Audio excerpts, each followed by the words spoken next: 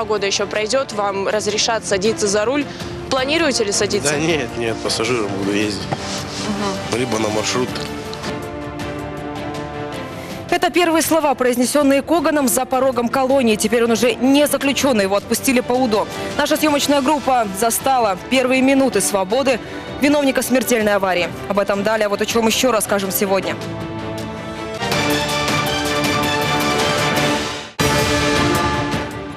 Собственному желанию и по соглашению сторон Иван Акман, замешанный в перепродаже земли, уволен из дирекции универсиады. Ни одного километра отремонтированных дорог, чем запомнился год с системой «Платон», взимающей плату с больших грузов. В сети появились данные бывших сотрудников НКВД. Их родственники требуют закрыть доступ, опасаясь мести. Итак, мы начинаем. Иван Акман, замешанный в перепродаже земли под дорогу к будущей ледовой арене, уволен из дирекции универсиады. Напомню, новости ТВК уже рассказывали, что Акман, будучи зам руководителя дирекции, помог отцу приобрести участок рядом с ледовой ареной. Ее стоимость на тот момент составила меньше 500 тысяч рублей. Теперь же земля оценивается в 9,5 миллионов. Муниципалитету, чтобы проложить дорогу, придется выкупать ее у семьи зам руководителя дирекции. Сегодня стало известно, что Иван Акман уволен. Якобы решение об уходе начинающий чиновник принял сам, опасаясь репутационных рисков. Вот что он заявил новостям ТВК. Ваш репортаж, на мой взгляд, негативно отражается на репутации дирекции, собственно говоря, и до выяснения обстоятельств и решил следующим образом поступить. По вашему мнению, в дальнейшем как будет ситуация развиваться с землей? Ну, я не знаю. Все эти запросы направлены, как понимаю, в компетентные органы и будут разбираться в законности Отмечу, Иван Акман занимает руководящие посты в различных организациях с 2012 года, а в руководство дирекции универсиады попал в 2014 году. При этом Иван Акман входит в золотой резерв управленческих кадров Красноярского края. На новой должности Марина Добровольская с сегодняшнего дня заняла пост советника губернатора Красноярского края. Соответствующее распоряжение уже подписано главой региона и вступило в силу. Сроки ее полномочий такие же, как и у губернатора. Напомню, с 2001 года Марина Ивановна была депутатом законодательного собрания края. Она входила в состав двух постоянных комиссий по законности, правопорядку, защите прав граждан и информационной политике и по социально-трудовым отношениям, делам семьи и молодежи. Красноярцы активно обсуждают в социальных сетях публикацию данных о сотрудниках НКВД. На сайте общества «Мемориал» появилась база данных работников органов госбезопасности эпохи Большого террора. И пока одни узнают в документах подробности истории своей семьи, другие просят данные засекретить. Надо ли открыто говорить о кровавых страницах в истории? Этот вопрос мы задавали нашим экспертам. Продолжение темы в репортаже далее. Ну вот дело Малицкого Савелия Кондратьевича, 909 года рождения, арестовано 5 июля 41 года в Канске. Житель Канска, 32-летний механик автогаража Савелий Малицкий, был арестован в 1941 году за антисоветскую агитацию. Это одна из самых распространенных в годы репрессий статей. Судя по копиям архивных документов, задерживал его сержант госбезопасности некто Грачев. Савелия Малицкого отправили в Краслак на 10 лет. Найти имена и фамилии сотрудников НКВД, казнивших людей в годы репрессий, долгое время можно было лишь в архивах. Сейчас их данные появились в открытом доступе. Это вызвало неоднозначную реакцию в обществе. Родственники тех, кто оказался в базе, просят власти удалить списки. Они боятся мести со стороны близких репрессированных. Но эксперты думают иначе. Это ни в коем случае на детей не кладет никакие, никакую там позор или вину, они просто должны признать, что да, эти, да, вот они делали, совершили преступление. Ну вот да, так вот было, вот мои, мои деды, да, вот они совершали преступления.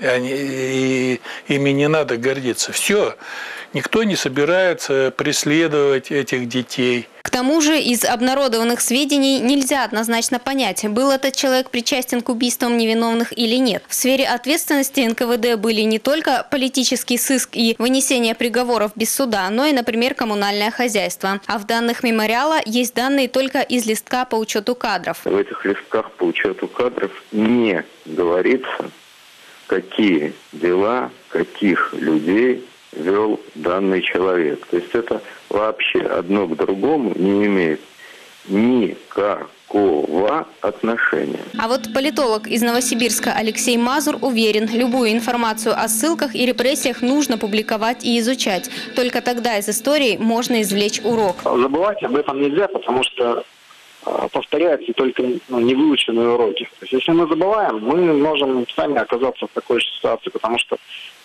ну, если думаться, как может такое быть, что э, там 10 тысяч или там, 100 тысяч человек держали в дороге всю страну, там, расстреливали по ночам, все тряслись от страха. А, а это было. Да, это было, но это уже история. Каяться в чужих преступлениях и просить прощения за проступки, которые совершили ваши родственники, не стоит, советует психолог Инна Драчева. Людям, которые оказались в такой ситуации, да, родственники тех, кто по какой-то воле судьбы расстреливал, там, унижал, там, скажем так, совершал преступления в отношении простых людей. Им просто нужно к этому относиться спокойно, стоически, но и по мере возможности, конечно, не вникать в эти ситуации, не читать эти форумы, потому что все равно это болезнь. Позицию Кремля по поводу публикации данных выразил пресс-секретарь Владимира Путина Дмитрий Песков. Он назвал тему чувствительной, но как на просьбу родственников закрыть доступ к базе ответит президент, так и не сказал. Татьяна Стрельцова, Николай Чистяков, Новости ТВК. А какую точку зрения поддерживаете вы? Эту тему будем обсуждать сегодня в 20.30. Как вы считаете, нужно ли было публиковать секретные данные о сотрудниках НКВД? Высказывайтесь по телефону 265 45 00, пишите смс на номер 9020, комментируйте в группе телекомпании ТВК ВКонтакте или пишите в WhatsApp и в Вайбере по телефону 8 923 1 65 45 00. Мы продолжаем юбилейный перенос. Открытие двухуровневой развязки на Брянской снова откладывается. Пока сроки ввода в эксплуатацию неизвестны, но очевидно, что до конца ноября, как обещали, не успеют, так как подрядчик еще не закончил работы. Несмотря на это, документы в стройнадзор уже поданы, но открывать магистраль с недоработками как минимум небезопасно. Напомню, этот перенос уже пятый. Изначально открыть дорогу должны были еще в ноябре 2014 года, потом перенесли на октябрь 2015, далее на август этого года и уже потом на ноябрь. А завтра в Покровском кафедральном соборе пройдет прощание с известным красноярским фермером, руководителем хозяйства Емельяновская, депутатом Емельяновского районного совета Анатолием Федоровичем Адашкиным. Он скончался на 75-м году жизни после тяжелой болезни. Проститься с Анатолием Федоровичем можно будет с 11 утра в соборе на Сурикова, 26. Потепление, а затем заморозки. Подробный прогноз от синоптика через 5 минут. И последнее предупреждение. Инструкция, как избавиться от ледяной угрозы над головой. Ну и главное, первые минуты Когана на свободе. Не переключайтесь. Это новости ТВК. Мы продолжаем. Буду ездить пассажиром. Это первые слова Дмитрия Когана после того, как он оказался на свободе. Студент-медик, насмерть сбивший двоих девушек на пешеходном переходе из колонии поселения, сегодня отправился домой. Новостям ТВК удалось записать эксклюзивное интервью с досрочно освободившимся. Подробности у Виктории Столяровой. Поселок Харюзовка, Иландский район. На год и четыре месяца эта колония поселения стала домом для Дмитрия Когана. Прошло 10 дней после того, как суд удовлетворил ходатайство Когана об условно-досрочном освобождении. Такой срок давали на обжалование решения Краевым судом и прокуратурой. Сегодня студент-медик, который насмерть сбил двоих девушек на пешеходном переходе, вышел на свободу. Оформление документов началось с самого утра, и уже к 11 часам переодевшийся Дмитрий Коган покинул административное здание колонии поселения. Встречать его приехал представитель и уже освободившийся Коган новостям ТВК рассказал о своих планах. Дальше учиться, работать. Все. Кем, кем работать будете? Санитаром Место вам уже дали? дадут. Действительно ли осознали свою вину или только для того, чтобы УДО получить? Сознал полностью. Хочу вам извиниться перед родственниками еще раз погибших девушек. Простите, пожалуйста. Аллею славы возле административного здания колонии возводят осужденные. Когда-то похожими работами занимался и сам Дмитрий Коган, как нам говорили ранее. Но нам удалось пообщаться с одними из тех, кто отбывал наказание вместе со студентом-медиком здесь. По их словам, вся его работа заключалась в перекладывании бумажек. Более того, человек, с которым нам удалось пообщаться, знаком с Коганом до того, как он появился в колонии поселения, и он уверяет, что год и четыре месяца, проведенные здесь, никак не повлияли на его его исправления. Но, к сожалению, продолжить беседу нам не удалось, поскольку подоспели сотрудники безопасности учреждения. Извините, по всем вопросам пресс-службу. Обращайтесь. Ну, мы же Не, он пытаемся... не надо отвлекать. Ну хорошо, но мы же пытаемся со знакомыми его пообщаться. Покинул колонию поселения Дмитрий Коган сегодня в качестве пассажира. Вернуться к управлению автотранспортным средством по решению суда он сможет только через полтора года. Но, как заявил сегодня сам Дмитрий, делать он этого не намерен. Планируете ли садиться? Да нет, нет, пассажиром буду ездить. Либо на маршрутке. Виктория Столярова, Виталий Субботин. Новости ТВК. Иланский район. Массовое ДТП произошло накануне на трассе М-53 в сторону Канска. По словам очевидцев, два УАЗа, микроавтобус и КАМАЗ столкнулись после Рыбинского кольца. Автомобили серьезно пострадали. У грузового УАЗа оторвало кабину, однако никаких данных о пострадавших не зафиксировано. Дорожные полицейские просят быть водителей предельно осторожными и не провоцировать аварийные ситуации, как это произошло на выходных на трассе М-54. Легковой автомобиль занесло и развернуло на заснеженной дороге.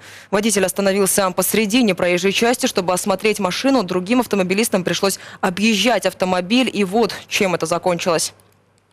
Вон еще одного. Рот. Сиди там, сиди в ней. Сиди в ней. Уходи, уходи, уходи, уходи назад, давай. Серьезно, никто не пострадал. Водитель черной иномарки получил ушибы. Инспекторы рекомендуют, чтобы не провоцировать аварию, лучше сразу же убрать машину с трассы, если она, конечно, на ходу. На этой неделе дорожная обстановка будет напряженная. Ожидается потепление до ноля, затем серьезные заморозки. Подробный прогноз на неделю прямо сейчас озвучит специалист гидромедцентра Иван Гордеев. Иван, добрый вечер. Добрый вечер. Да, действительно, на этой неделе э, наша территория по-прежнему будет находиться на траектории движения активных атмосферных э, вихрей как и несколько дней э, до этого. Они будут приходить к нам с запада. Э, Это обусловит ветреную, очень теплую погоду с частыми осадками. Прямо сейчас вечером, пока я здесь стою на крыше, порывы ветра достигали 7-9 метров в секунду. Вытесненный с юга прогретый среднеазиатский воздух э, бу- обусловит э, в начале недели в городе оттепели. Температурный режим со вторника по четверг в городе ожидается выше среднемноголетних значений на 8-10 градусов. Завтра в городе ждем прогрев до нуля, в среду и в четверг до нуля и несколько выше. Но при всем при том э, в городе ожидается умеренный снег, порывистый вплоть до неблагоприятных значений. Западный ветер, метели и гололедица. Также неблагоприятно, из неблагоприятного в городе э, можно отметить, что горожанам стоит быть осторожным из-за нависающих сосулек и установление ледостава на Енисее. В Енисейском районе сейчас проходит из-за оттепели довольно сложно. э, из-за частых подвижек выход на лед там очень опасен. Но в дальнейшем с Урала к нам начнет поступать холодный воздух. В пятницу температура еще успеет э, достигнуть слабо отрицательных значений, однако к вечеру ждем значительное похолодание, пока до минус 12, и оно будет сопровождаться порывистым, довольно сильным северо-западным ветром. Осадков, правда, уже будет немного, а к концу недели ожидаем и вовсе прекращения осадков. Ну и вот выходные, скорее всего, будут холодными, не исключено понижение температуры воздуха до минус 15, минус 20 градусов, но и этот холод будет довольно быстро сметен очередным циклоном в начале следующей недели. Но об этом более подробно через неделю. Виктория. Ну что ж, спасибо. Будем готовиться к похолоданию. Ну а прямо сейчас новая история в проекте «Последнее предупреждение». Сегодня автор коммунального сериала Екатерина Кашучик дает инструкцию о том, как ликвидировать последствия потепления сосульки на домах.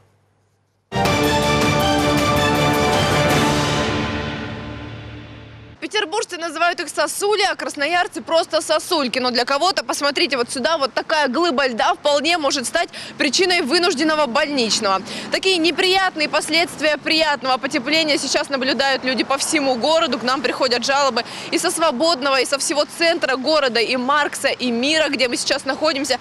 И на улице Ленина такие проблемы тоже есть. Дорожная карта у этой проблемы очень широкая, но инструкция для всех этих ситуаций одна. Если сосулька висит на вашем доме, смело звоните в управляющую компанию. По закону там должны незамедлительно отреагировать. А высота дома не может быть отговоркой. В случае необходимости управляющая компания может привлечь подрядчика. Если сосульки угрожают вам с общегородской крыши, звоните в 205. А тем, кого не устраивает вот такая ситуация на Мира 112, мы разрешаем пропустить шаг один, не искать управляющую компанию, которая обслуживает этот дом, а сразу обратиться в городскую диспетчерскую службу по телефону 205. Именно этот номер оставляем на нашей желтой карточке. Там должны принять вашу заявку, передать ее той организации, которая обслуживает этот дом. А мы приедем и проконтролируем. Екатерина Кашучик, Владимир Антонов. Последнее предупреждение.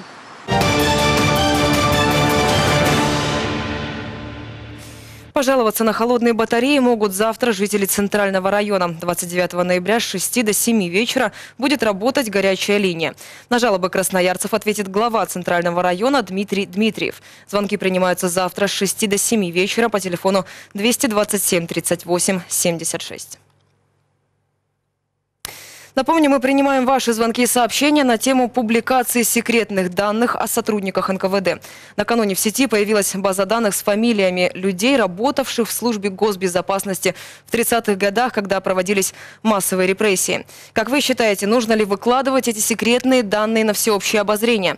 Высказывайтесь по телефону 265 45 00, пишите смс на номер 9020, комментируйте в группе телекомпании ТВК ВКонтакте или пишите в Вайбере и WhatsApp по номеру телефона 8 923 1 65 45 00.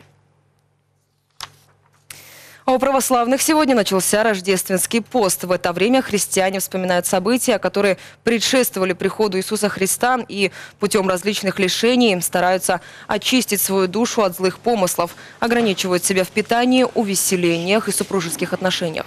Продлится пост, как и Великий, 40 дней до самого Рождества 7 января. Однако рождественский пост отличается от Великого меньшей строгостью. Так, например, можно есть рыбу по всем дням, кроме среды и пятницы, а также допускается варенье и растительное масло. Каждый страждущий должен обговаривать диету со своим духовником и не забывать, что истинный пост души – это не только ограничение в питании. Что мы приобретаем в пост? Это, конечно, какие-то добрые навыки. Накорми голодного, помоги нуждающимся, приди на помощь, а, сделай какое-то доброе дело. Вот это настоящий пост, которого ждет Господь. А еда здесь как та составляющая, которая помогает. Но мы, к сожалению, зачастую видим вот именно вот эту вот верхушку айсберга. А сразу после рекламы расскажем о том, какие итоги можно подвести после года работы системы Платон, а также об открытии в Красноярске инклюзивного центра. В нем особым детям дают дополнительное образование. Не переключайтесь. Это новости ТВК. Мы продолжаем один год, почти 17 миллиардов и не рубля в Красноярский край. Система «Платон» отпраздновала первую годовщину. Чиновники рапортовали о миллионах полезных рублей. Дальнобойщики придумали десятки способов обойти «Платон». А новости ТВК прямо сейчас готовы рассказать, кому на самом деле принес выгоду этот год в системе «Платон». Слово Екатерине Кашутчик. Ноябрь 2015 Губит нас не штраф, губит нас сам Платон. Ноябрь 2016 Наши федеральные дороги и с нами, как крепостными, которые пользуются эти федеральные, э, также как-то просто подарили приближенным. Прошел год, а в словах предпринимателя Яна, кажется, изменилось только одно. То, что раньше он говорил в будущем времени, теперь звучит в настоящем. Например, фраза «Платон на обещанный ремонт федеральных трасс не пойдет» теперь обрела цифровые очертания. За год с народа собрали больше 16 миллиардов рублей. Из них больше 10 миллиардов отошли самой системе «Платон», а именно исполнителю проекта, которого год назад выбрали без конкурса. Это компания РТ «Инвест транспортной системы». Она в равных долях принадлежит Игорю Ротенбергу, сыну Аркадия Ротенберга, миллиардера, и структурам Ростеха. И в этот год, и в каждый год далее эта компания будет получать по 10,5 миллиардов. А может и больше, говорят сами бизнесмены, ведь сколько она с них собирает, не проверить. Это частная организация, через которую проходит. То есть они могут сказать, что собрали 17, на самом деле это может 27, 37. И никто не проверит. Если необходимы средства для строительства дорог, поднимите на 1 рубль акциз дистоплива, добавьте всего лишь рубль, и вы получите в два раза больше денежных средств, чем сейчас вы получаете от Платона. И самое главное, не нужно будет вот этой прослойки, которая сейчас получает 10 миллиардов в течение года. Ни за что. Но власти выбрали отдавать этой прослойке 10 миллиардов. Решили, что так будет полезнее дорогам. Только вот ни рубля из собранного, например, с красноярских бизнесменов не потратилось на красноярские дороги. Просто изначальные цели в проекте «Платон» поменялись. Изначально при запуске системы подразумевалось, что эти деньги будут направляться именно на развитие сети автомобильных дорог. Но когда запустили систему, все вы помните, у нас пришла весна, как обычно это приходит, и во многих регионах возникла просто катастрофическая ситуация по существующей сети автомобильных дорог.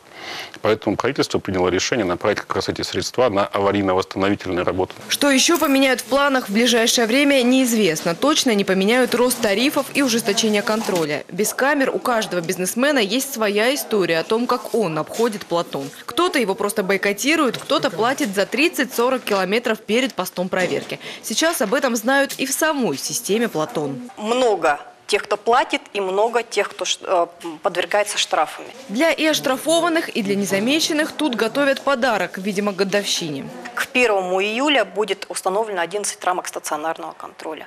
И они перекроют, соответственно, все артерии. Сколько дополнительных миллиардов от этого получит частная система, с которой неразрывно связано имя миллиардера Ротенберга, не уточняется. Екатерина Кашучик, Владимир Антонов. Новости ТВК. А в 20.30, напомню, будем обсуждать тему публикации секретных данных о сотрудниках НКВД. Накануне в сети появилась база данных с фамилиями людей, работавших в службе госбезопасности в 30-х годах, когда проводились массовые репрессии. Как вы считаете, нужно ли выкладывать эти секретные данные на всеобщее обозрение? Высказывайтесь по телефону 265 45 00, пишите смс на номер 9020, комментируйте в группе телекомпании ТВК ВКонтакте или пишите в Вайбере и WhatsApp по телефону 8 920 3 1 65 45 00. Кружки и секции доступны для всех. В Красноярске появился первый инклюзивный центр дополнительного образования. Там педагоги будут работать с особыми детьми. Предлагается ли к доступным кружкам доступная среда и чему в этом центре можно научить ребенка, узнаем в сюжете далее. Жила-была бабушка.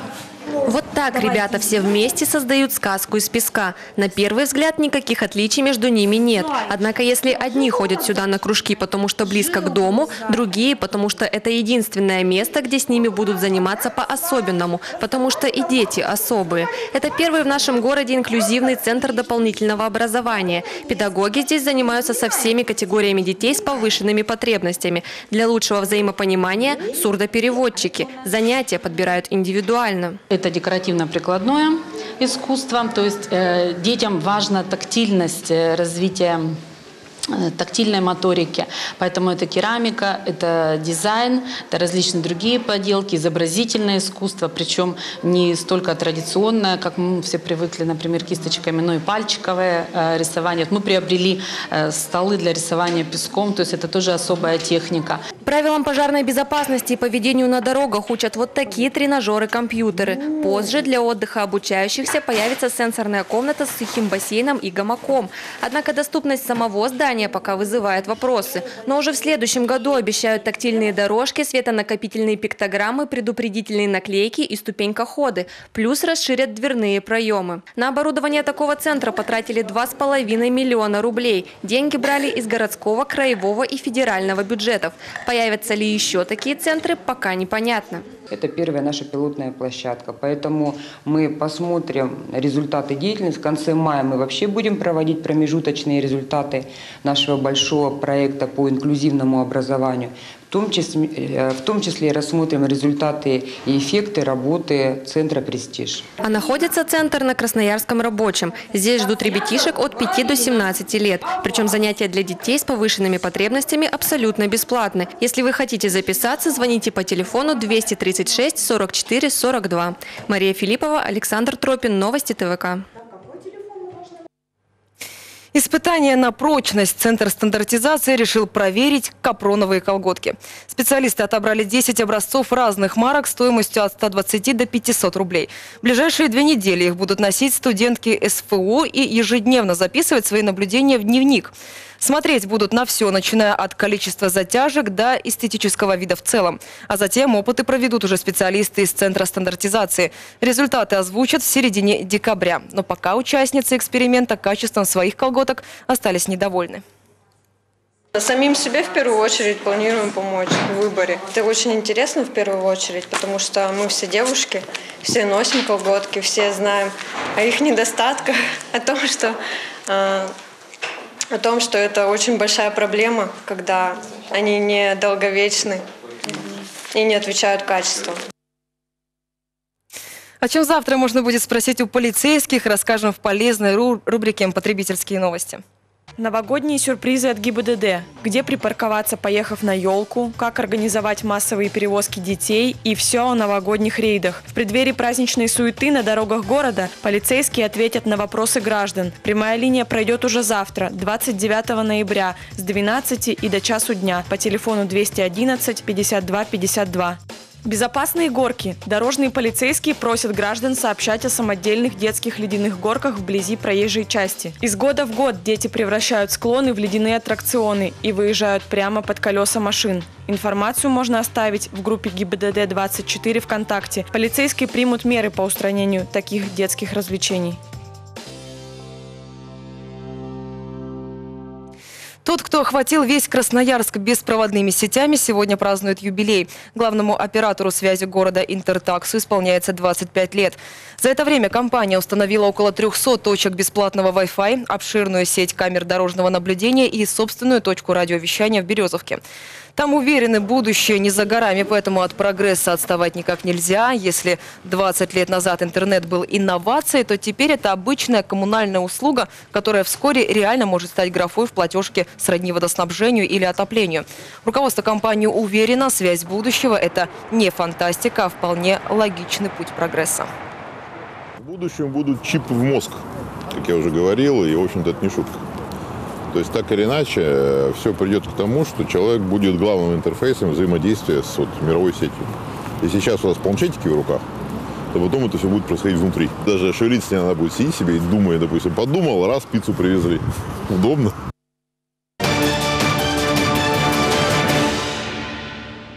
Это новости ТВК. Мы работаем в прямом эфире и прямо сейчас готовы вернуться к теме нашего сегодняшнего обсуждения. Я напомню, в сети были опубликованы секретные данные о сотрудниках НКВД, и мы интересуемся у вас, как вы считаете, стоит ли вообще такие данные на всеобщее об- обозрение выставлять. И у нас есть первый телефонный звонок. Здравствуйте, мы вас слушаем. Здравствуйте. Захват власти в 2017 году недоучка юристам был незаконен. Разогнал Думу, профсоюз, не дал землю, организовал гражданскую войну и создал нищету в Россию. Организовал концлагеря, водоразверстку, церкви уничтожил, расстреливали кто кто якобы против советской власти, которую никто не выбирал. Власть всегда была сладкая и безответная. Законов не было в СССР. Люди должны все знать, что не были как бы репрессии, а убийства фактически без суда и следствия.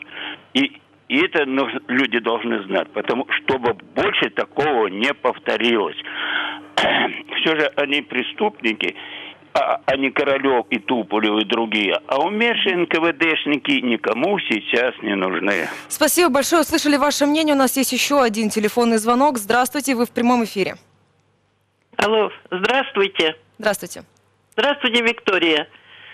Хочу начать со слов поэта. Времена не выбирают, в них живут и умирают. И я считаю, у меня отец был репрессирован в 49 году. И мне было 4 года. Это были очень трудные времена. И вот сейчас я считаю, что я не могу допустить, чтобы открыты были эти имена людей, которые это делали. У них сейчас есть дети, успешные, внуки, правнуки. Они не виноваты в том, что они слушали. Спасибо большое. Виноваты, виноваты были те люди, которые были доносчиками. Вот их бы раскрывали имена, кто доносчиком был. А Спасибо большое. А, У нас есть еще один телефонный звонок. Мы работаем в прямом эфире. Здравствуйте, слушаем вас. Здравствуйте.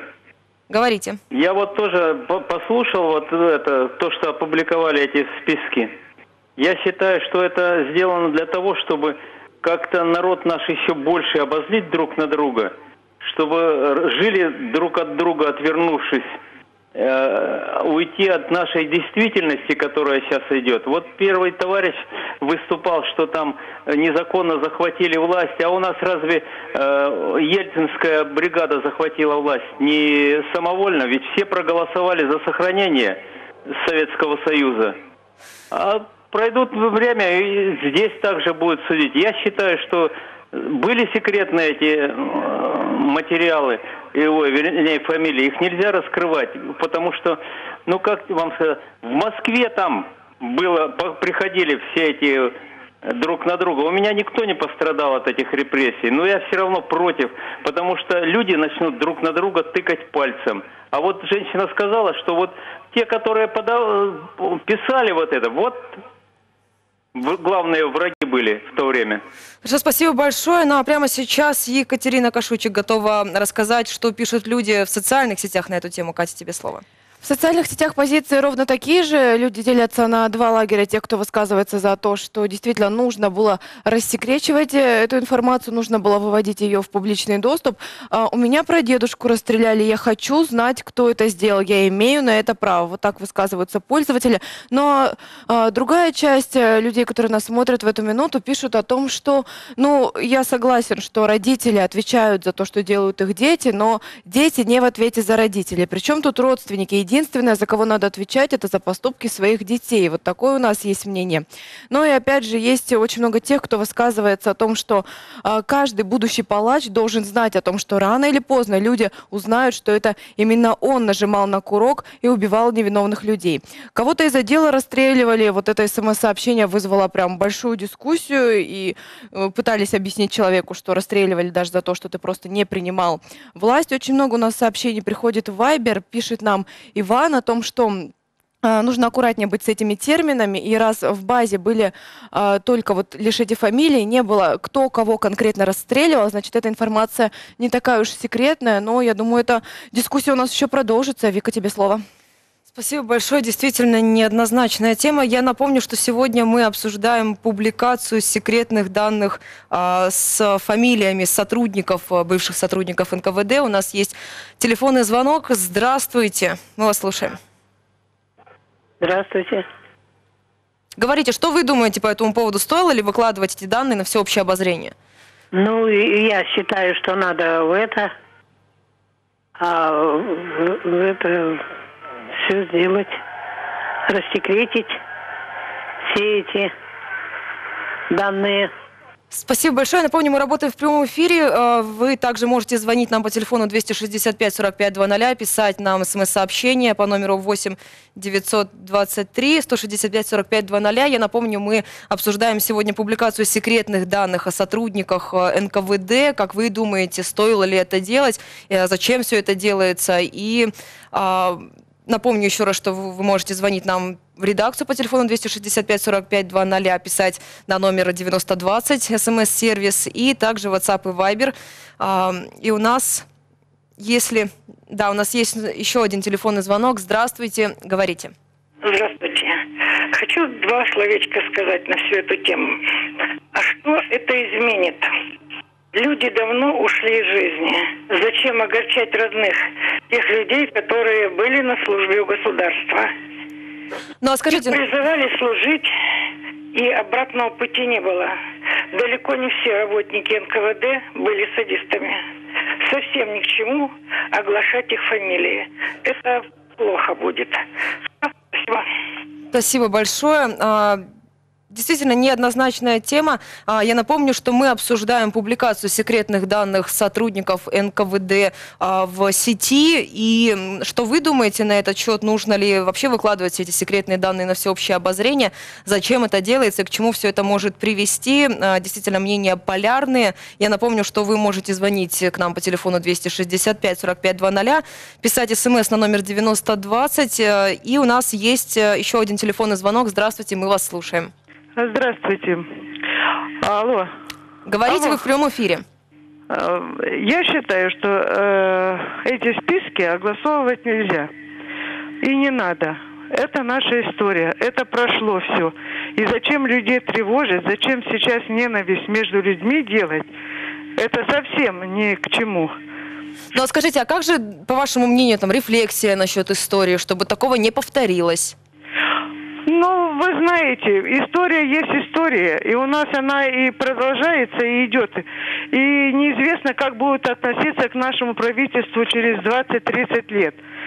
И зачем это вот сейчас, вот если у моего отца было, э, репрессировали, и сейчас я узнаю, что кто-то это делал, вы думаете, я буду хорошо смотреть на этого человека, я его буду ненавидеть. А зачем это мне? Хорошо, я поняла вас. Спасибо большое. У нас есть еще один телефонный звонок. Здравствуйте, вы в прямом эфире.